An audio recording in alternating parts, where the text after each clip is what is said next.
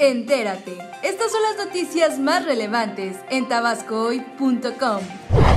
El próximo martes 24 de mayo, el gobierno federal dará a conocer las plazas disponibles para médicos de todo el país.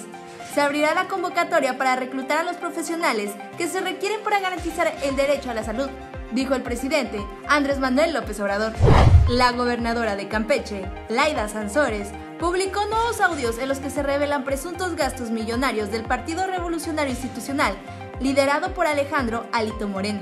60M, 70 Eduardo Duarte. ¿Quién es el Madriano? El Madriano mí lo mandó, fue uno de los últimos depósitos que Por eso tienes que ver que... Se cancela Expo Feria en agosto.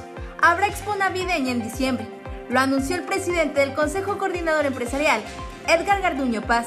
La causa de la cancelación fue debido a que el Parque Tabasco no está en las condiciones adecuadas.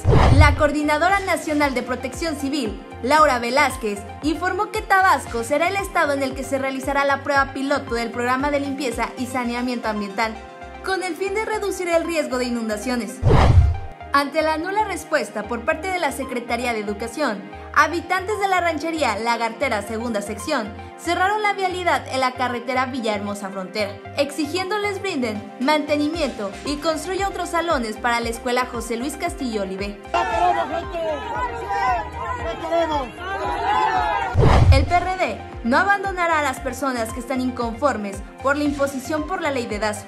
Javier Cabrera, dirigente estatal, anunció que promoverán amparos ante el Poder Judicial de la Federación.